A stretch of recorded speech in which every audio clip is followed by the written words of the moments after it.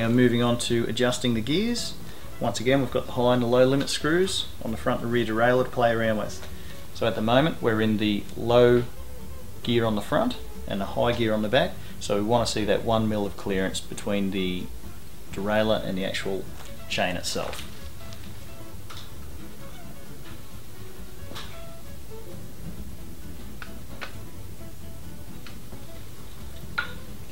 It's looking good there. So we've got our one millimeter of clearance down here. So now what we want to do is put the rear derailleur into the smallest cog there, which is the highest gear. Pre-stretch the cables as much as you can. So getting the down tube cables at the front of the bike in your hands, just apply pressure by hand quite firmly onto those cables. That will just finish swaging the end ferrules onto the outer cables and take up any play that's going to come in once that's all bound back up. So we've pre-stretched our cables. We start off by just checking our limit screws on the rear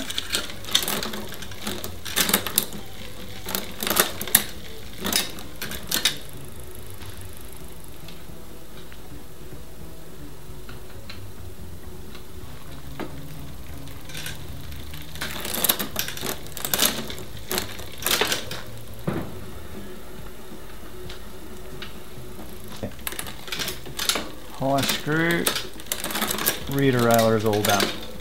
Now we just want to set the high limit screw on the front derailleur, so leaving it in the smallest cog on the back, which is the highest gear. Move across into the big ring there. As you can hear, we've got interference on the chain. So we touch the high screw, just wind that out half a turn at a time, and we've gotten rid of that rub we have a look in here, we've got our one mil clearance as well between the chain and the outer face of the derailleur. Now we just need to set the cable tension. So as we go through the gears, just put it into the second gear. Wind the cable adjustment screw out until we hear it wanting to go up into the third gear. And back one and a half to two turns then we should have full range of movement.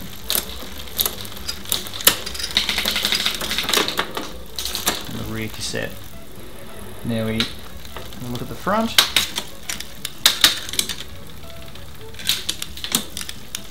We want to be coming up crisply into the second chainring.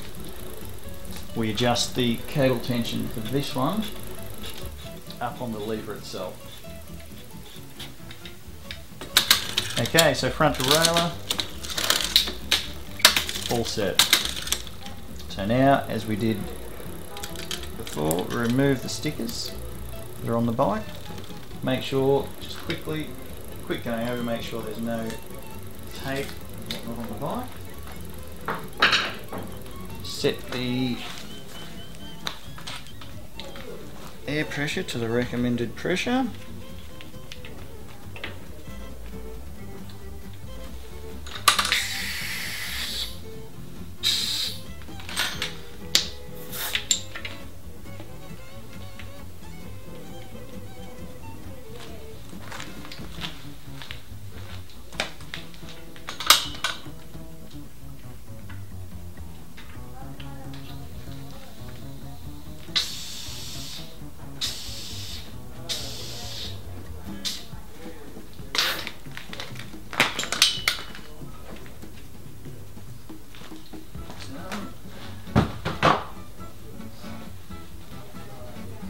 Always finish with a wipe down of the bike. Get rid of any fingerprints. And as you can see, drive side crank arms usually come with a protective plastic sheet, which just needs to be removed before it goes out on the floor of the shop.